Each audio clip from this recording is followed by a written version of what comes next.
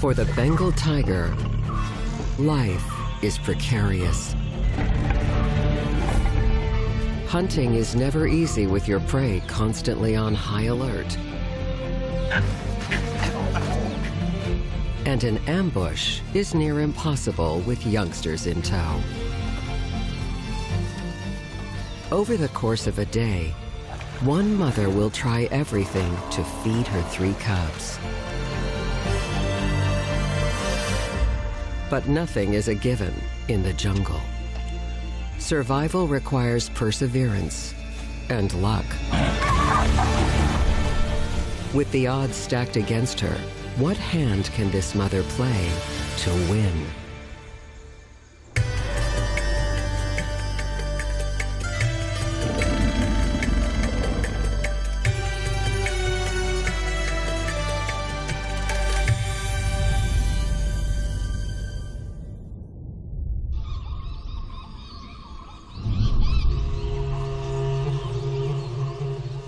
It's dawn in late June. The end of the dry season in southern India. Hidden in the jungle, an iconic creature stirs. A stunning Bengal tigress.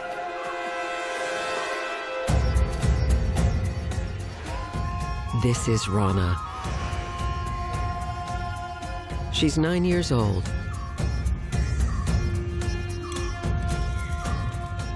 At 10 feet long, from nose to tail, she's 300 pounds of sleek muscle, power, and experience.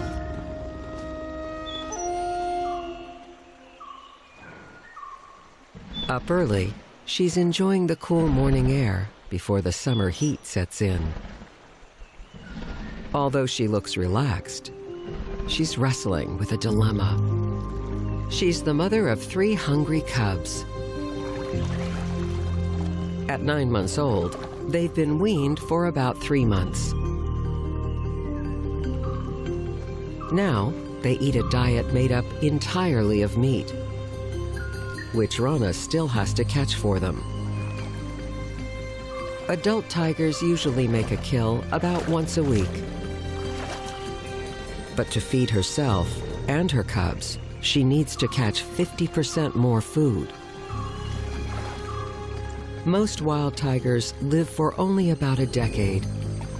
At nine years old, Rana might be starting to lose her edge. Hunting is becoming harder, and she hasn't brought home any food for nearly two weeks.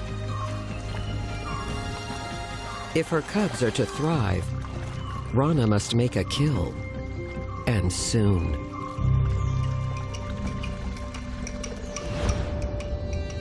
Rana and her young family live in Nagarhole National Park in southern India. It's a land of wet, deciduous forests and is part of the largest area of connecting tree cover in the country. Once the favorite hunting grounds of local royalty, the 250 square mile reserve is now the protected home of more than 90 tigers.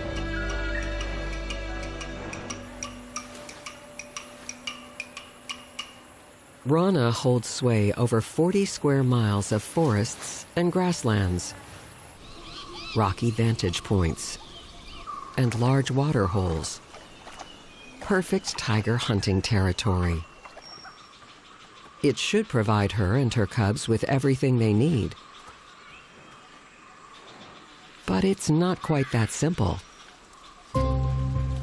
Just because there's plenty of potential prey around doesn't mean it wants to be eaten.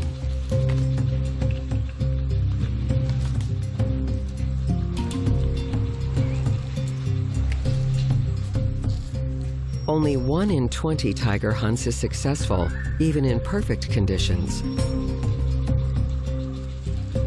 But Rana has three rather boisterous complications.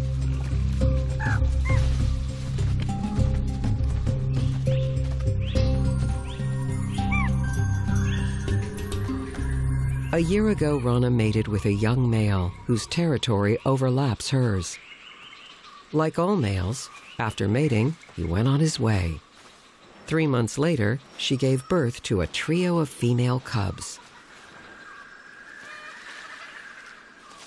Tigers often have triplets, but this was the first time for Rana. Getting them this far is a great achievement. Even for the fittest mothers, only half of cubs reach adulthood. At nine months old, Rana's cubs are now following her on hunting expeditions. They must learn how to ambush. But being so young, they have a habit of giving away the game, which makes Rana's job even harder. It's a dilemma. Hunt solo and increase her odds of making a kill, or try to catch food while training her cubs. Something that can seem like a futile pursuit.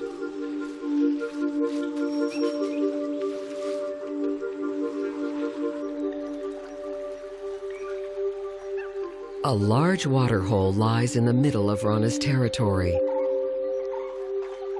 By June, the end of the dry season, this is one of the few places left to find a drink. But for prey species, moving from the shelter of the forest to the water's edge leaves them vulnerable.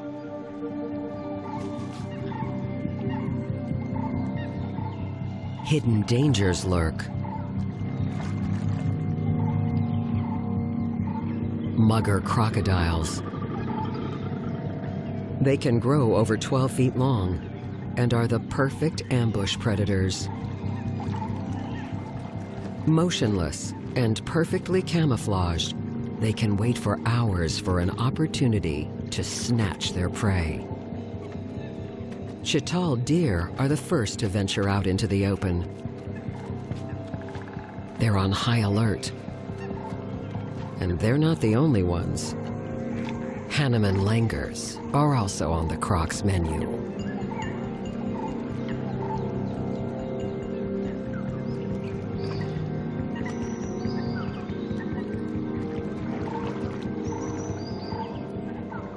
The simple act of drinking is risky. It's much harder to keep an eye out for approaching danger. Visiting the waterhole together provides greater security. With more eyes, some can watch their backs, while others quench their thirst. It's not just crocodiles they need to look out for. All these animals would make a fine meal for a tiger. A Langur alarm call rings out.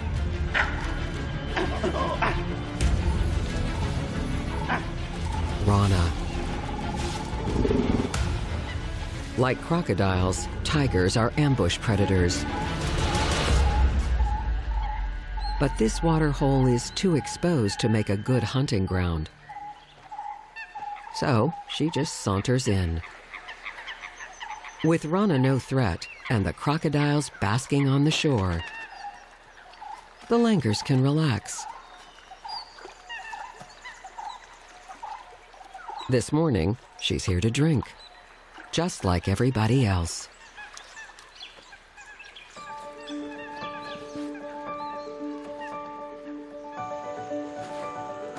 Rana's young cubs enjoy morning playtime.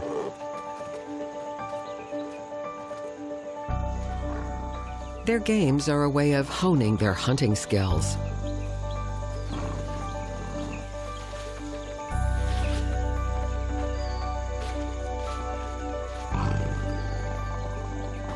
Even mom will join in to demonstrate a trick or two.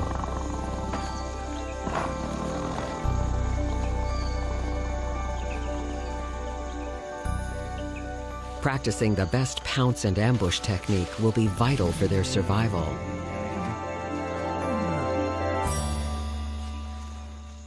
Now adolescents, these cubs are already almost half Rana's size.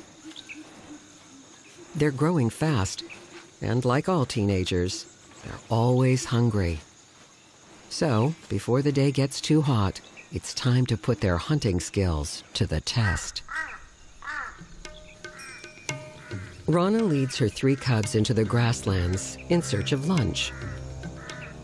Unlike the exposed waterhole, there's cover here for hunting. And with three rowdy pupils in tow, Rana needs all the cover she can get.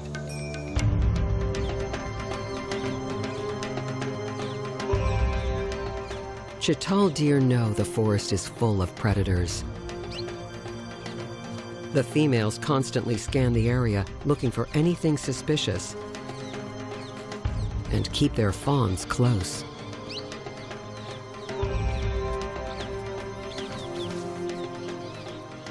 Standing up to three feet tall at the shoulder and weighing more than a hundred pounds, one of these deer would provide several meals for Rana and her cubs.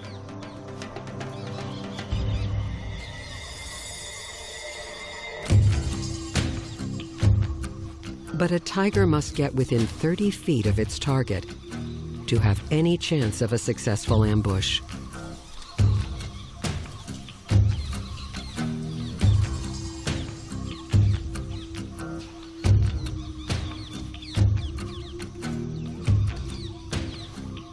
So they approach slowly, stealthily, stalking through the long grass.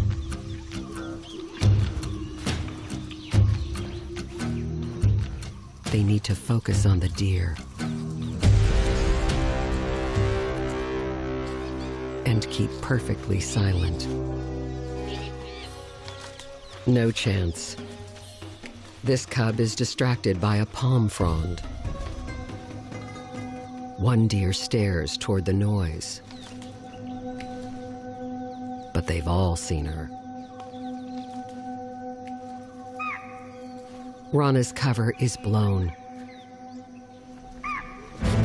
Completely.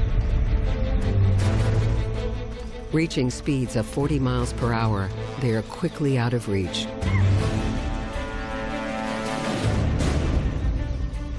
The cubs have yet to learn the tiger's golden rule. Until you stalk and overrun, you can't devour anyone. At this rate, they're getting nowhere fast.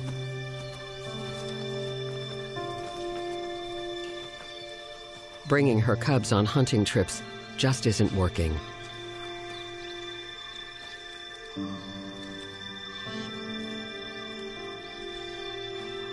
If Rana stands any chance of bagging a meal, she needs to do this on her own.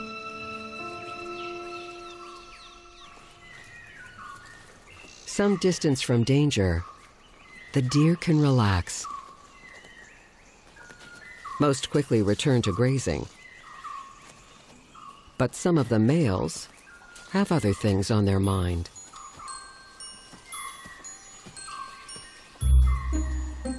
It's the peak of the mating season. Time to concentrate on impressing a female.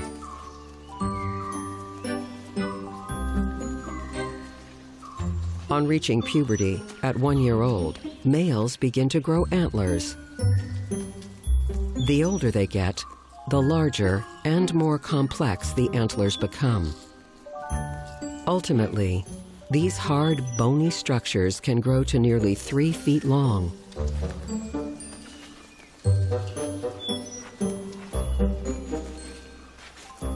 As he thrashes the vegetation, this stag certainly gets attention. Scraping his hooves on the ground spreads smelly secretions from glands in his feet another signal to the nearby female that he means business. But he must do more than simply catch her eye. She'll only mate with the most impressive male. So he must compete with the others. A nearby show off could threaten his chances. He needs to prove who's in charge. Strong antlers are a dangerous weapon.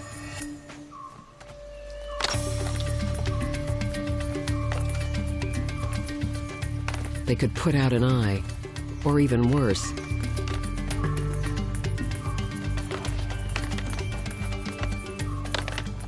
Sparring determines the male's social hierarchy.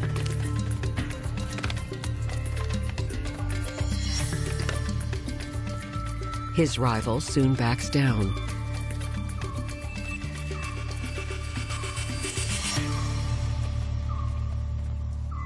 He'll try his chances again, but next time with a lower ranking male.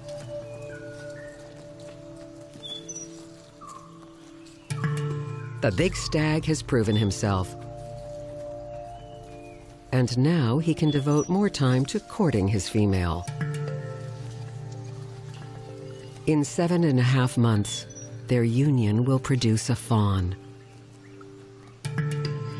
With tigers on the prowl, its mother will need to be extra vigilant. Baby deer are small and vulnerable, yet within just 20 minutes of being born, they are up on their feet and walking. They have to be. The predators of these forests never pass up an easy meal.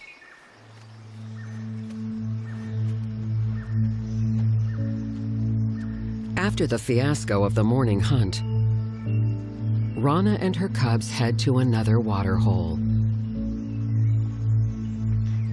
Unlike most cats, Tigers are happy in water. And this family often enjoys a swim, especially in the summer heat.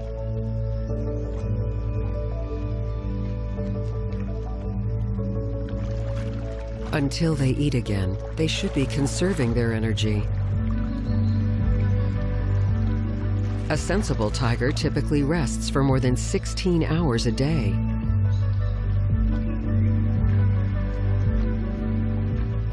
But the girls just want to have fun. They don't know the danger they're in.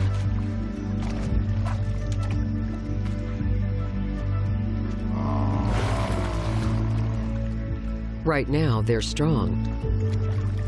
But without food, starvation can quickly set in. Last year, Rana's previous litter of two cubs died of malnutrition at just a few months old. She needs a new plan to provide for the girls.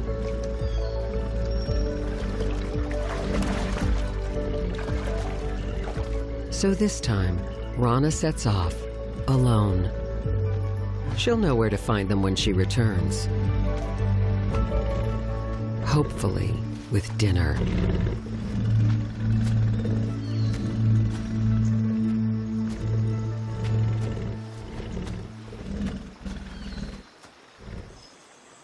The heat of the dry season hangs heavy over Nagarhole National Park in southern India. The water hole at the center of Rana's territory is too exposed for hunting, and the animals in the grasslands are on high alert so Rana heads west. Tigers can walk more than six miles a day looking for food.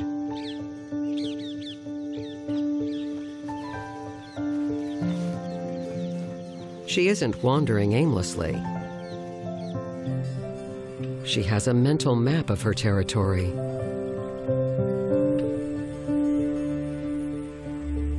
Out in the scrublands, there's one species that could provide her family with an incredible feast.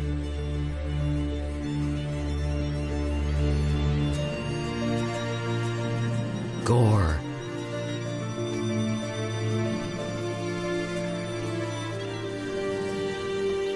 At almost 10 feet long and over 6 feet tall,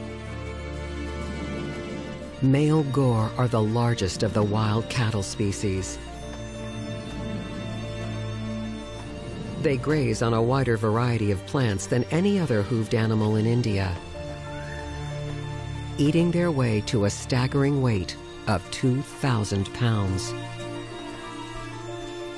They are one of the largest living mammals on land.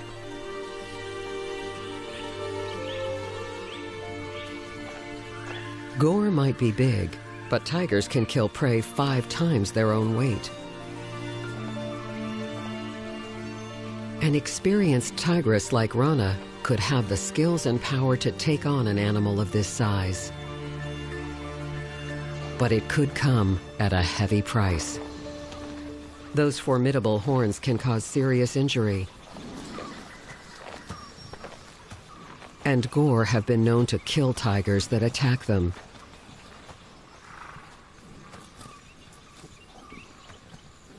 With three cubs totally dependent on her, she needs to be careful. Waiting among the trees, Rana spies a safer opportunity. A young calf has strayed away from the herd. Straight into danger. To stand any chance, Rana needs it to get closer.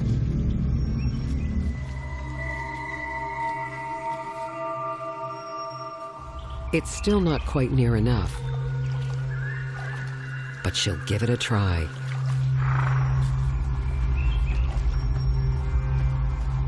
In her prime, Rana could hit 40 miles per hour. Now, age is slowing her down. From this range, the calf can easily outrun her. It's not worth wasting her energy. Rejoining its family, the calf will be better protected. It's had a lucky escape.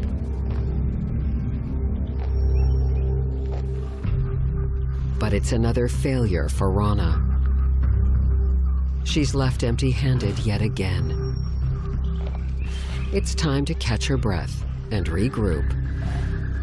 Her hunger is getting desperate.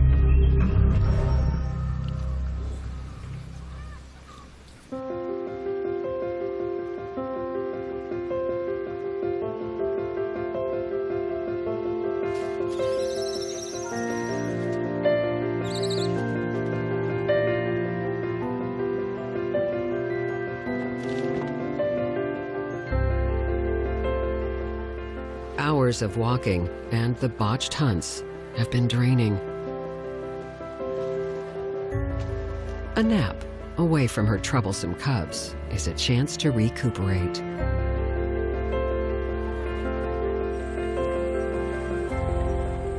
As noon approaches, the temperature tops 100 degrees.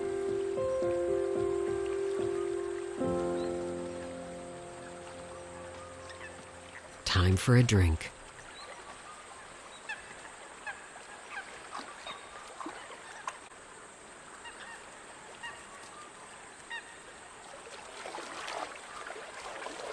While Rana can relax, other animals never let down their guard.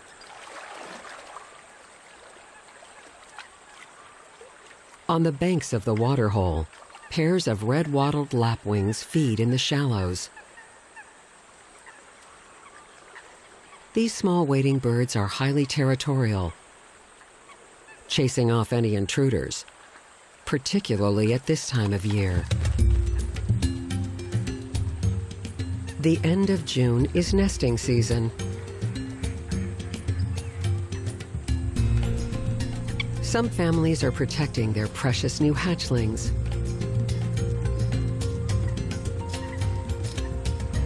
Whereas others are still sitting on eggs.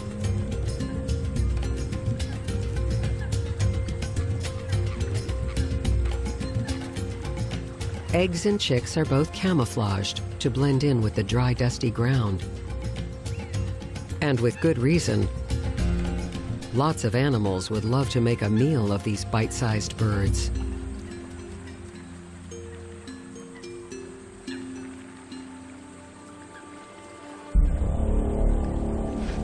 Indian monitor lizards patrol the waterfront on the hunt for easy pickings.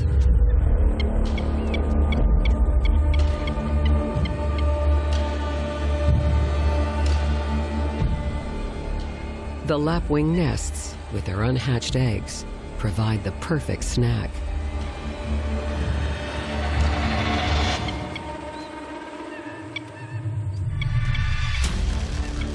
The frantic parents dive bomb the raider, puffing themselves up and surrounding it to scare it off. It's a desperate attempt to save their unborn chicks. But the lizard doesn't scare easily. The eggs are a high protein, nutritious source of food.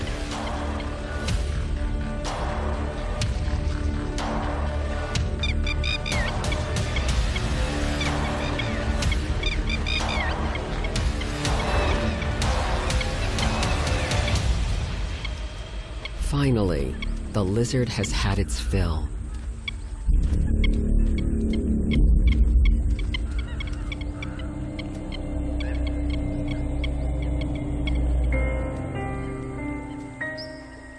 Fewer than 60% of lapwing eggs will survive. It's a harsh reality for the parents.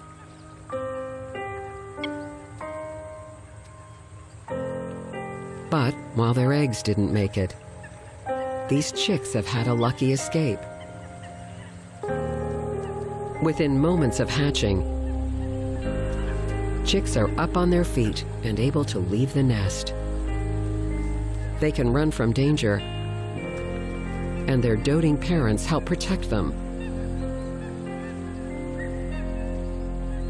If a chick can get through its perilous first week, it has a much better chance of survival. Its parents can teach it what to eat, where to find it, and most importantly, where to hide.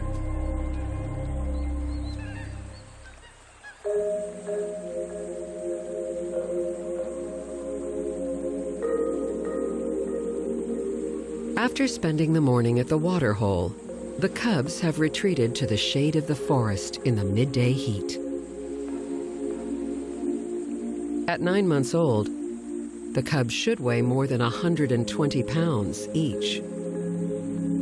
But with the lack of regular food, they're starting to look thin. While a feast then fasting diet is normal for tigers, going too long between meals will take its toll in the long run. Even if they don't starve, a lack of food can make them more vulnerable to disease, injury, or infection. It's vital that Rana brings back food soon. By early afternoon, it's still too hot to contemplate hunting. While Rana enjoys these cool waters, the constant high summer temperatures and the fierce afternoon sun take their toll on the water holes themselves. Some ponds have almost completely dried up. For many animals, this provides a different opportunity. A wild boar and her piglets snuffle in the damp mud for grubs and other insects.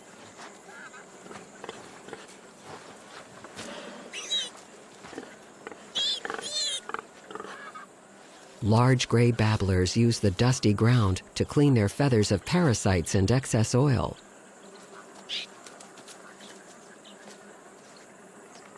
And red-rumped swallows collect mud to build their nests.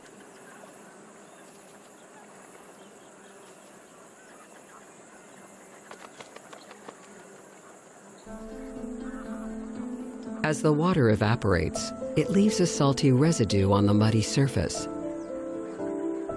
And this attracts a beautiful spectacle.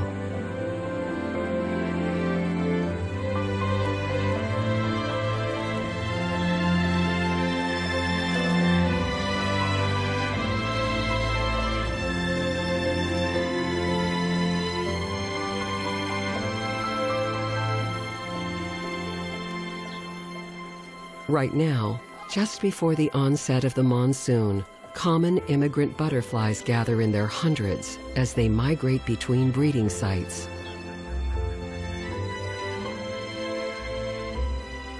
They're here to feast on important nutrients and minerals found in the mud. Substances they don't get from their usual diet of nectar. These act like vitamins, boosting the butterfly's health and increasing their reproductive success. They won't stay long. They're on the search for the best place to lay their eggs. But for now, this dry water hole provides everything they need.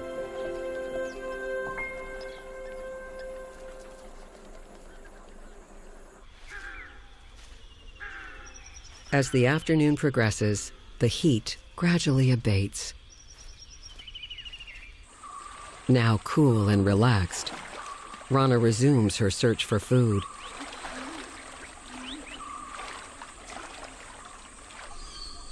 She knows there's prey grazing nearby.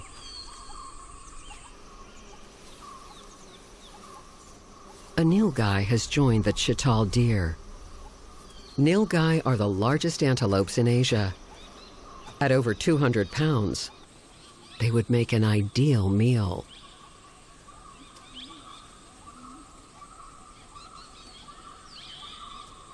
In the forest, Rana is almost invisible. Her orange fur might seem bright and conspicuous to the human eye, but in the jungle, it's the perfect camouflage.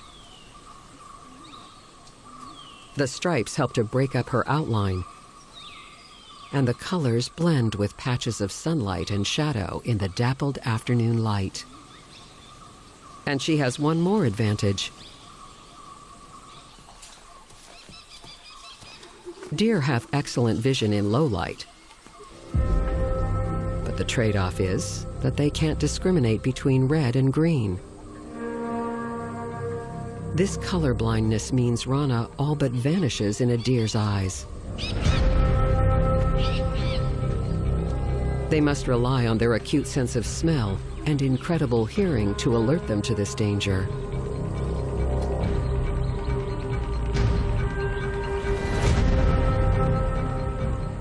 Rana approaches the herd downwind so her scent doesn't give her away. As long as she moves slowly and silently, hidden behind a tree, she's got a good chance. The nilgai senses something.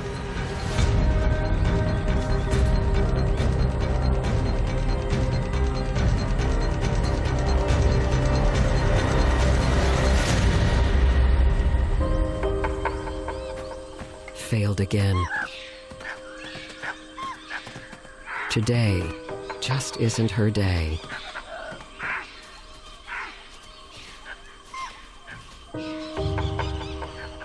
A chorus of alarm calls alerts everything within a hundred yards. Rana's blown her chance of catching anything here.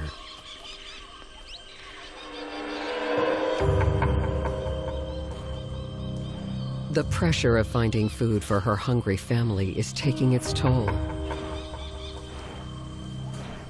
For an older female like Rana, all this exertion is even more exhausting. But while age may be catching up with her, it does bring a wealth of experience and knowledge to adapt her stalking technique to suit the situation.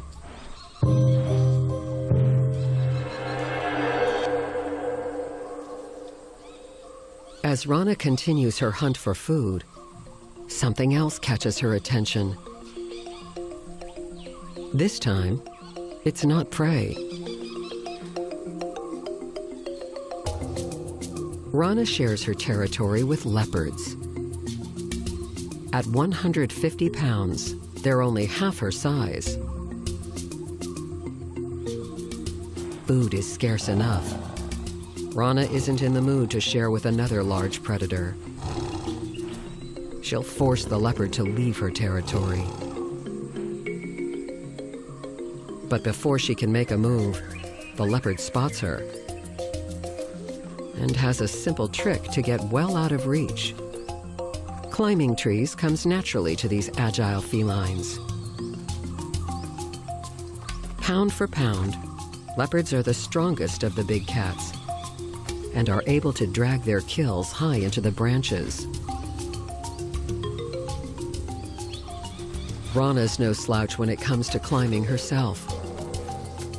With powerful leg muscles and sharp claws four inches long, tigers are surprisingly adept in the trees.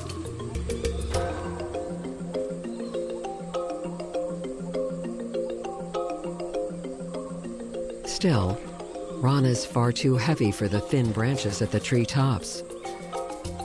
The leopard knows it's well out of harm's way. They mainly hunt by night, so this one will wait out the daylight up in the branches, away from trouble and resting comfortably. Sort of. For now, Rana leaves her mark on a nearby tree. It sends a message to the leopard and all in the forest. This is her territory, and she's not going to share. Rana isn't the only tiger struggling to find enough to eat. Over the last century, throughout India, tigers have lost vast numbers of their natural prey to human poaching.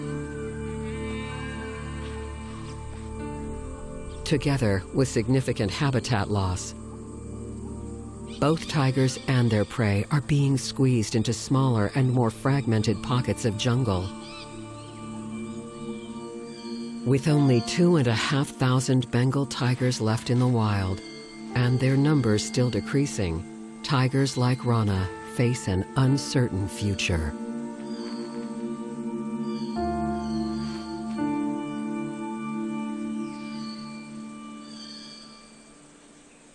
The afternoon is wearing on. Rana hasn't seen her cubs since morning. It's time to head back. But as she nears the waterhole where she left the cubs, there's one last place to try. A clearing where animals have gathered to feed before night falls.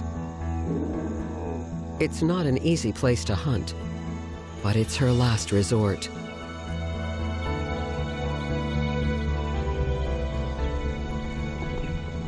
In such large groups, the grazers are all much safer. From the langurs with their vantage point in the trees.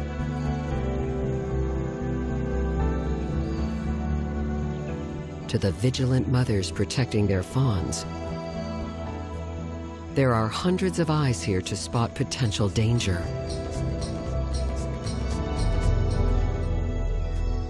But they're only safe when they stick together. A foolish male sambar deer heads to the woods, alone. It's today's last chance.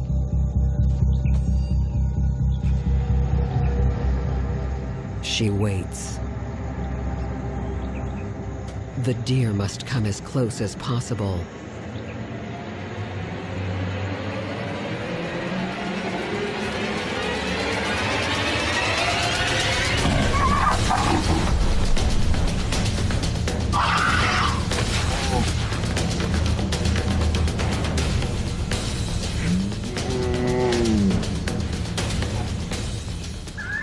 Ambush causes chaos. Alarm calls spread panic.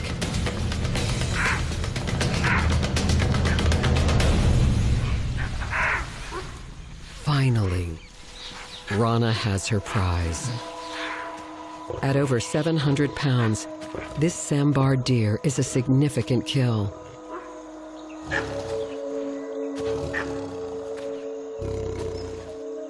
The noise has alerted her cubs. They come to join her at the feast.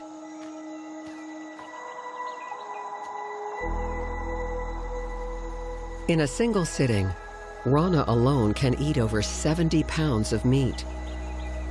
But it's the cubs who will really prosper from the rich protein.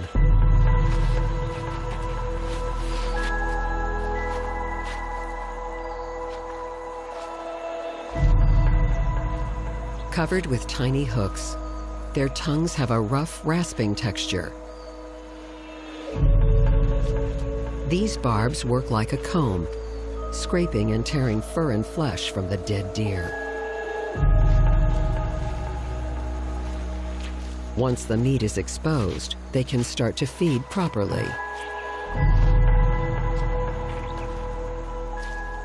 While their three-inch long canines are used to bite and kill their prey,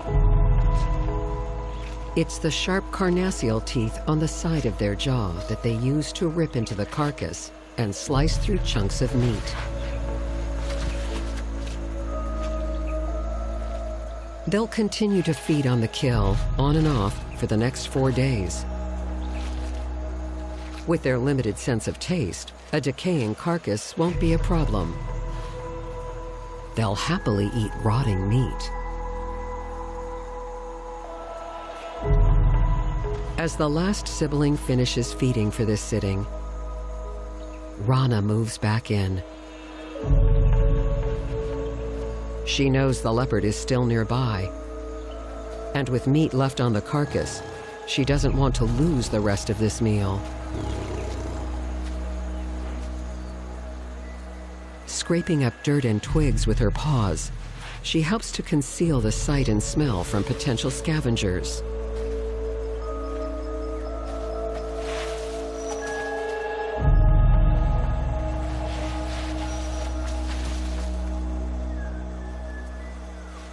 The family will stay nearby. Finally well fed, they'll rest and digest together. Bloody from feeding, they also need a bath. Grooming and hygiene is an important part of life these cubs must learn. Rana's rough tongue now gently cleans her cub's fur its small hooks detangling the hairs and removing dirt and parasites. Her saliva is mildly antiseptic and may help to prevent infections.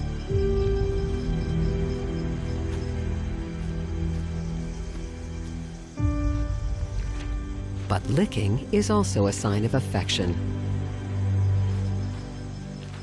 and strengthens the bonds between mother and daughters.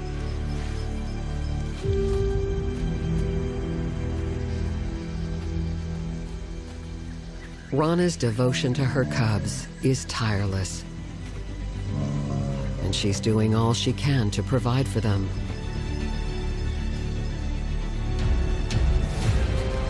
Her challenge now is to pass on her skills and experience as a hunter.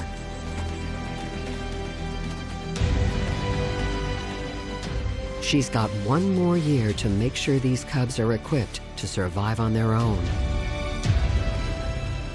Her girls still have a lot to learn. But with such an experienced mother to guide them, the odds may just be on their side.